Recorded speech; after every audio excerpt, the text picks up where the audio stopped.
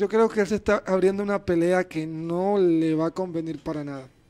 Primero, te metes con Zidane, Zidane campeón tres veces de Champions. Mm.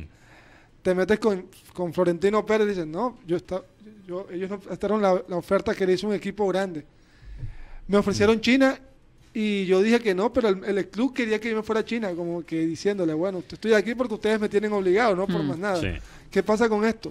Que esto está creando una polémica. Ah, bueno, ¿qué- ¿te quieres ir?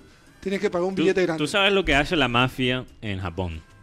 Cuando básicamente Los ellos, Yakuza. los yakuza, cuando ellos básicamente cometen un error y tienen que pedir perdón para regresar a la familia. Mm. ¿Tú sabes lo que ellos hacen? Le piden que le cortan un dedo.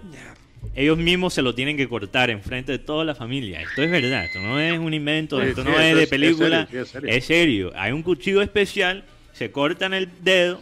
Y después se lo pegan. No, no, no, no, ¿Se no, lo no, comen, no qué? se lo, Se lo comen. no se lo pegan, no se lo pegan. No. ¿Tú, tú no has visto los sushi.